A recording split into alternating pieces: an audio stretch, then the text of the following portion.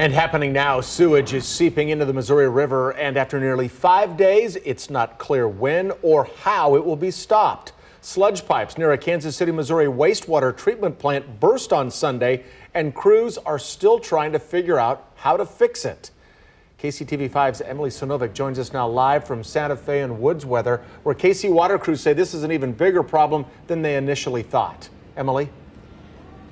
Yeah, and Brad, that's why we're kind of keeping our distance because there are so many trucks, so many crews coming in and out of here trying to fix what looks like a massive sinkhole behind me. We'll show you that in a second. But that is where they found three giant pipes that burst one that's about 12 inches, one that's about 30 inches, and one that's big enough you could drive that truck right through it.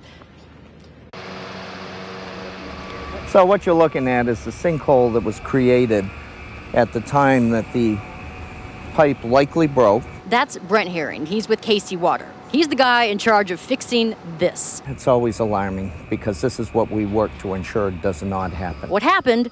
Those sludge pipes burst. Why isn't clear. So we'll get in there and we'll do our forensic analysis and understand what happened to the best of our ability. And as we repair this, um, can you repair this? Oh, yes, this we can. This looks bad. Uh, we can repair it. When the repairs are complete is completely up in the air right now.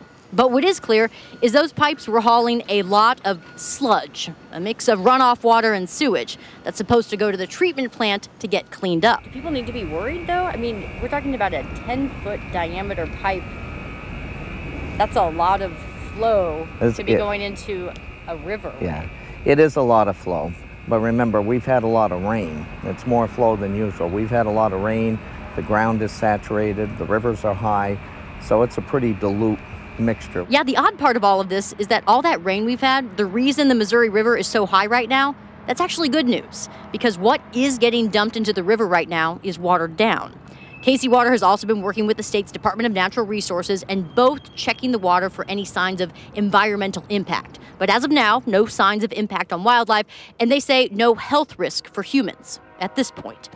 Folks we met who live along the river or were just out for a walk said they weren't too concerned without any real high expectations for a clean Missouri River. I think there's probably a lot of contaminants getting flushed into the river anyway. But just don't ask them to dive in anytime soon. No, I wouldn't swim in it. yeah, would you go take a swim right now? No. That river is treacherous.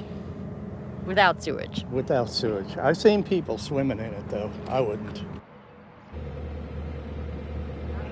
So again, not an ideal situation, but no health risks at this time. Still, the manager for KC Wastewater, he tells me that this is probably one of the worst breakages he's seen again in his entire career. That's 30 to 40 years in this industry. But as of now, they are doing tests every single day with the Department of Natural Resources. They're staying on top of this. And as soon as we hear anything different, including when they actually fix this, we will keep you posted. Reporting live, I'm Emily Sinovic, KCTV5 News. Yeah, that's the big question. When will it get fixed? Emily, thanks.